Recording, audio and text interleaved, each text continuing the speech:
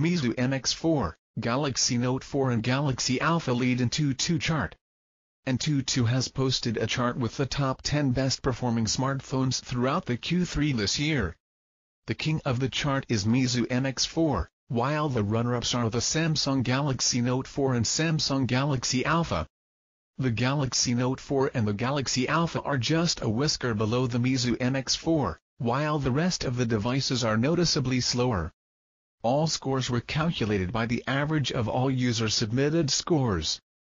Meizu MX4 is based on the MediaTek's top-notch Montana 6595 chip with quad-core Cortex-A17 at 2.2 GHz and quad-core Cortex-A7 at 1.7 GHz plus the PowerVR G6200 GPU.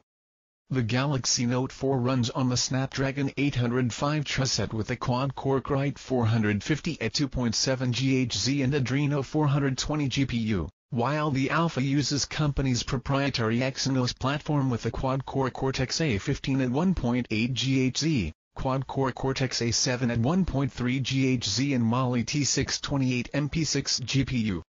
AnTuTu revealed the most popular smartphones for the Q3 2014 inches some countries. The Galaxy S5 is the most benchmark phone in the USA, HTC One M8, in Taiwan, Xiaomi Mi 3, inch China, Xiaomi Redmi Note in Hong Kong, LG Nexus 5, inch Russia and LG G3 inches South Korea. You can check detailed graphs with the top 10 devices for each market.